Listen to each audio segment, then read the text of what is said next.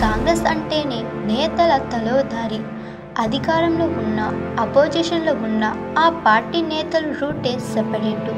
ముందు నుంచే ఒకరంటే ఒకరికి పడదంటే ఇప్పుడు పవర్లో ఉన్నారు. పైగా బీఆర్ఎస్ నుంచి పది మంది ఎమ్మెల్యేలను చేర్చుకున్నారు. దాంతో కొత్త పాత నేతల మధ్య పచ్చగడ్డి వేస్తే బొగ్గుమంటుంది. ఏళ్ళ తరబడి పార్టీలో ఉన్నోళ్ళకు అధికారం వచ్చిన తర్వాత పార్టీల్లో చేరిన వాళ్ళకు అసలు పసగడడం లేదు. గ్రూపు రాజకీయాలు తలనొప్పిగా మారడంతో ఏం చేయాలని దానిపై ఆలోచనలో పడ్డారు పార్టీ పెద్దలు. గొడవలకు చెక్ పెట్టేలా ప్లాన్ చేస్తున్నారు. ఇంతకీ కాంగ్రెస్ పెద్దల ఆలోచన ఏంటి?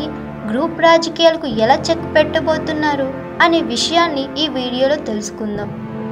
పాత మరియు కొత్త కాంగ్రెస్ నేతల మధ్య పచ్చగడ్డి వేస్తే బగ్గుమంటుంది. ప్రతిపక్షాల విమర్శలు ఓవైపు పార్టీలో గ్రూపు రాజకీయాలు ఇంకోవైపు. తెలంగాణ కాంగ్రెస్ పెద్దలకు తలనొప్పిగా మారాయి. అధికార పార్టీకి ఆపోజిషన్ ఎదుర్కోవాల్సింది పోయి అంతర్గత గొడవలు సరిపెట్టలేకపోతున్నారు. కొత్త పాత నేతల మధ్య సమన్వయం కుదరకపోవడం ఇబ్బందికరంగా మారింది. గ్రూప్ రాజకీయాలు ఒక్కొక్కటిగా బయటపడుతూనే ఉన్నాయి. జగిత్యాల ఘటనతో పార్టీలో గ్రూపు రాజకీయాలు మరోసారి వెలుగులోకి వచ్చాయి. దీంతో పాటు బీఆర్ఎస్ నుంచి కాంగ్రెస్లోకి వచ్చిన ఎమ్మెల్యేల నియోజకవర్గాల్లో పాత కొత్త కాంగ్రెస్ నేతల మధ్య పచ్చిగడ్డి వేస్తే బొగ్గుమంటుంది.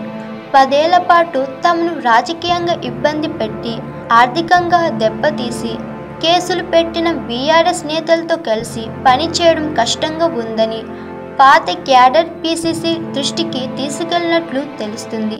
ఇప్పటికే ఉమ్మడి వరంగల్ కరీంనగర్ నిజామాబాద్ నల్గొండ ఆదిలాబాద్ మెదక్ మరియు హైదరాబాద్లో జిల్లాలో గ్రూపు రాజకీయాలు తారా స్థాయికి చేరాయి స్వాతి లైక్ చేయండి షేర్ చేయండి కమెంట్ చేయండి అండ్ సబ్స్క్రైబ్ చేయండి G R TV hi this is Monika please like share and subscribe G R TV